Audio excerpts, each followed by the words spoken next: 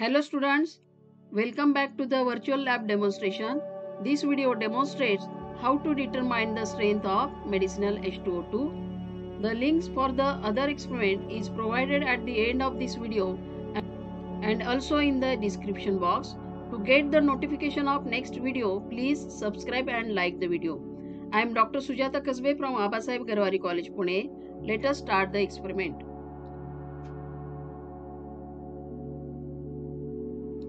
Determination of strength of medicinal H2O2. The formula of oxalic acid is H2C2O4 twice H2O. Oxalic acid does not undergo change in composition when it is exposed to air, hence it is called as primary standard substance.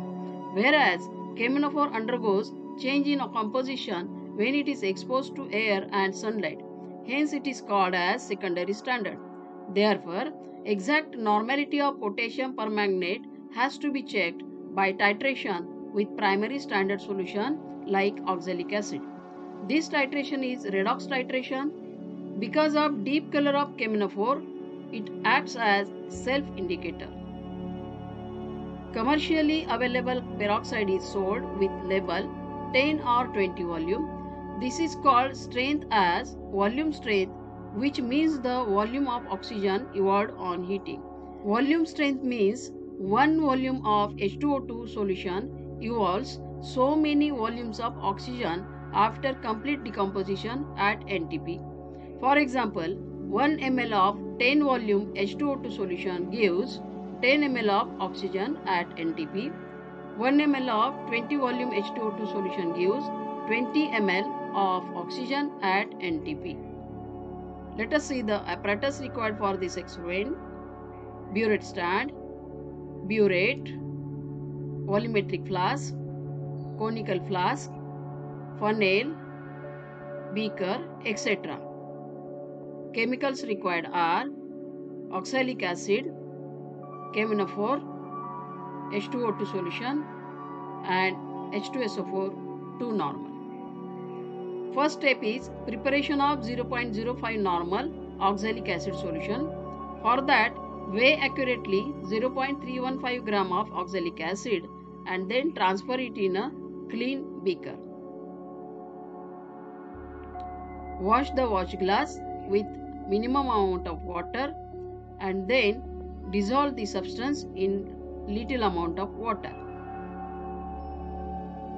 Stir it well. Now transfer this solution in 100 ml volumetric flask and make up the volume up to 100 ml by using distilled water. Transfer this diluted solution of oxalic acid into a beaker to get the homogeneous solution. So this is 0.05 normal oxalic acid solution. Next step is standardization of KMNO4 solution. For that, fill the burette number 1 with 0.05 normal oxalic acid solution and burette number 2 with KMNO4 solution whose normality is approximate. Take 9 ml oxalic acid solution in conical flask. To this solution, add half test tube 2 normal H2SO4 and then heat the solution to about 60 to 70 degrees centigrade. Thereafter, titrate the solution with KMNO4 solution. Stir the conical flask constantly till faint pink color appears to the solution.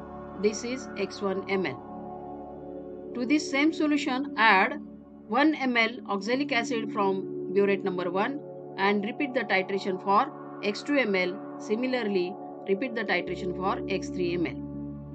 Step 3 is for the determination of strength of H2O2. For that, fill the burette number 1 with H2O2 solution and burette number 2 with KMNO4 solution. Then take 9 ml H2O2 solution in a conical flask.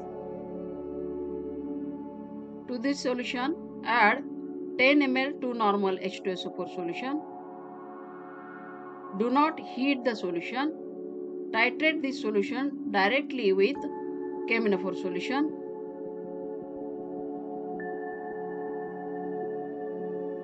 Stir the solution constantly till permanent faint pink color appears to the solution. This is the Y1 ml. Repeat the titration for Y2 ml. For that, in the same solution, add 1 ml H2O2 solution from burette number 1 and continue the titration with KMnO4 solution.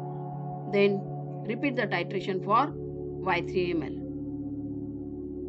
Observations and observation table for standardization of KMnO4. Burette 1 contains 0.05 normal oxalic acid solution. Burette 2 contains 0.05 normal KMnO4 solution. Indicator is KMnO4 itself and endpoint is permanent faint pink color. Record the reading as XML. Observations and observation table for determination of strength of H2O2. Burette 1 contains H2O2 solution. Burette 2 contains standardized KMnO4 solution. Indicator is KMnO4 itself. Endpoint is permanent faint pink color and record the reading as YML. Calculations Standardization of KMnO4 KMnO4 against H2C2O4 twice H2O N1V1 equal to NV therefore N1 into X1 equal to 0.05 into 9 Similarly, do the calculation for N2 and N3. So finally, exact normality of KMnO4 equal to N4 equal to N1 multiplied by N2 multiplied by N3 divided by 3. Strength of H2O2 in normal term.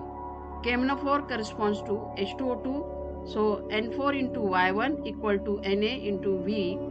Therefore, Na equal to N4 into Y1 divided by 9 ml. Do the calculation for NB and NC.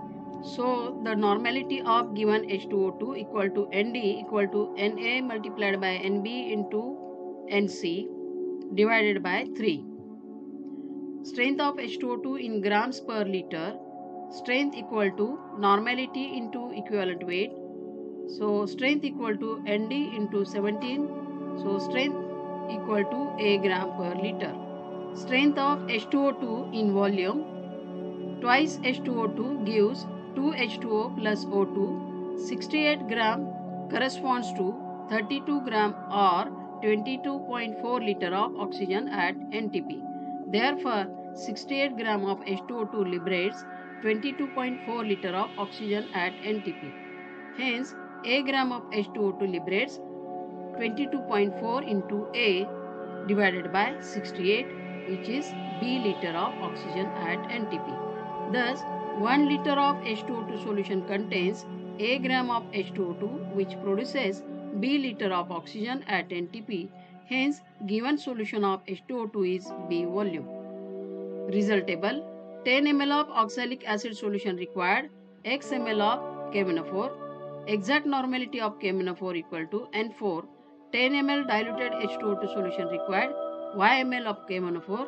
Normality of H2O2 solution, ND. Strength of H2O2 solution in gram per liter, A. Strength of H2O2 solution in volume, B gram per liter. So students, thank you for watching this video. Please like, share and subscribe the video to get the notification of next video.